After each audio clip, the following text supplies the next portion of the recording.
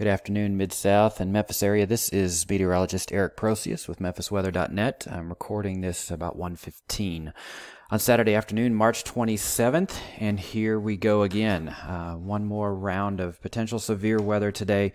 Wanted to bring you the latest here, so we're going to dive right into it give you an overview first. Um, it is humid and muggy out. We've got more instability uh, right now, early this afternoon, than I think we might have had right here directly in the Memphis area with the last couple of events. So we are looking at scattered thunderstorms that will be developing in uh, in unstable air mass. We've got a warm front that is draped right along I-40 and very slowly shifting to the north. Uh, and those scattered thunderstorms will be forming in that unstable air mass this afternoon, probably within the next couple of hours. We've got a few showers out there right now, but uh, they will be scattered for several hours from mid-afternoon into the early evening. And then uh, we'll get a little bit stronger impulse from the west, upper level impulse moving in and a cold front that'll be approaching as well. And I think that is going to cause us to get more organized activity as we go into the evening hours. Our highest probability of severe thunderstorms will be with uh, that batch. We cannot rule out a few uh, severe storms though this afternoon as well. We're looking at uh, most of our severe weather threat to be uh, diminishing by the time we get to midnight. Might still get a little bit of rain after that. The primary threats for this afternoon are going to be strong wind and uh, some potentially large hail. Uh, we could also see a possible tornado this afternoon uh, as we start to get a little bit more shear in the environment. Um, and we definitely will see some areas of heavy rain. A lot of rain has already fallen across the area. Flash flood watch is out, um, and any more rain is going to exacerbate those uh, flooding issues that uh, that we might have.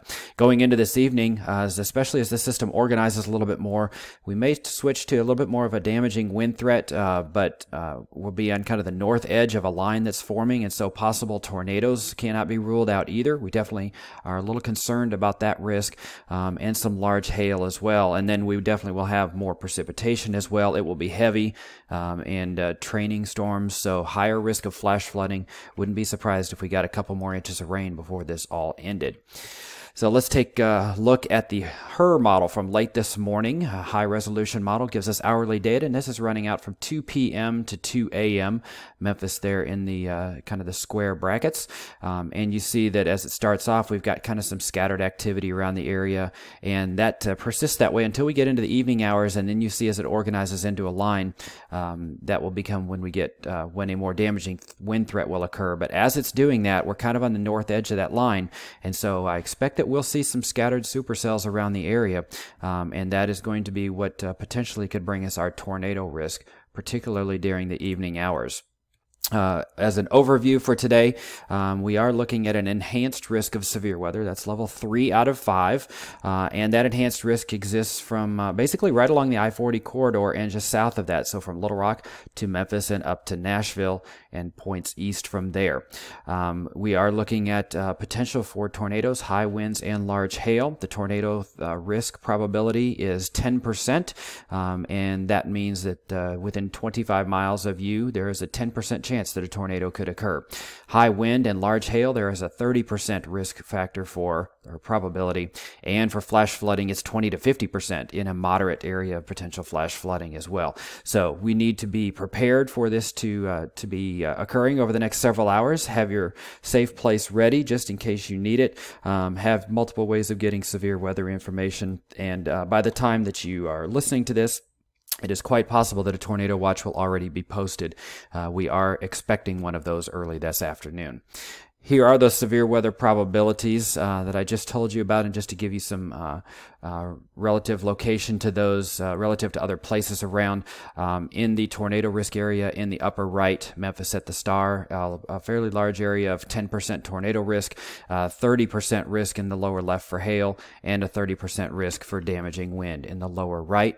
Each one of those you'll note also has a black hatching area over all three. It includes the Memphis area, and that indicates we could see some significant uh, storms that would have the potential for a stronger tornado larger hail, or uh, or high wind. So uh, this is not um, not just a passing threat. We definitely need to take this one seriously um, and hope that we come out like we did the previous uh, two. But uh, this threat is definitely right over our area. The enhanced risk means numerous severe storms are possible. Could see a few tornadoes. Several reports of wind damage are expected, and we could see some hail as well. Make sure that you know your geography. These storms will be coming from our southwest to the northeast. And so if you are in Shelby County, uh, counties to our southwest, DeSoto, Tunica, Southern Crittenden, St. Francis, Lee, those counties would uh, likely be getting warnings first for storms that move into our area. So you need to be prepared and know your geography. cover just a few tornado safety tips uh, just in case you need to use these. Make sure you know where your safe place is. That should be on the uh, interior room of the lowest floor if you do not have a storm shelter uh, or a basement, which many of us do not. Um, avoid those large panes of glass and windows, large span roofs, high spans. Uh, when the tornado watch is issued, if you are in a mobile home, that is the time to go ahead and uh, phone a friend. See if you can get to a place that is a little more sturdy than uh, a mobile home well before that warning warning is issued. Um, make sure that you are uh, protecting yourself and your kids. Have your shoes on, your photo ID, and your cell phone with you if you have to go to shelter. And remember the difference between a watch and a warning. A watch is the conditions are favorable. We're expecting that here uh, actually fairly shortly. Um, and warnings are issued when there is an imminent threat, and that means you need to take action and have multiple ways to be able to get those warnings. Uh, moving on then to the summary, scattered afternoon thunderstorms are expected. Those could produce some hail, strong wind, or a tornado, and evening storms have a higher chance of becoming severe. Damaging winds, possible tornadoes, or large hail all all uh, possible with this evening storms. Uh, prepare your safe place now. Now is the time to do this. Make sure it's ready in case you need it. It may still be ready from the last two events. That's good. Garage your vehicles if able. We could have some uh, hail around the area uh, and have multiple ways of getting your warning information. We would highly recommend uh, that you make one of those the memphisweather.net app. You can go to app.memphisweather.net and download that and then add the severe weather alerts to that app. You never know when you just might need it. And I will close out by knowing and expressing to you that we know that you are weary of preparing for storms. We've, this is the third time we've done this in the last 10 days. Um, in this particular case, it was uh, pr- the previous ones. There were large geographical areas that were included, um, and the storms did materialize, they just weren't here. Just know with this one, the biggest threat is in our area, not somewhere else. So you need to be prepared just in case.